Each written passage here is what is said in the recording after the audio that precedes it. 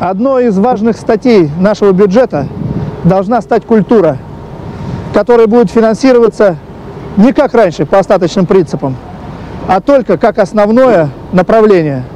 В этом случае мы сможем добиться возрождения великой культуры России.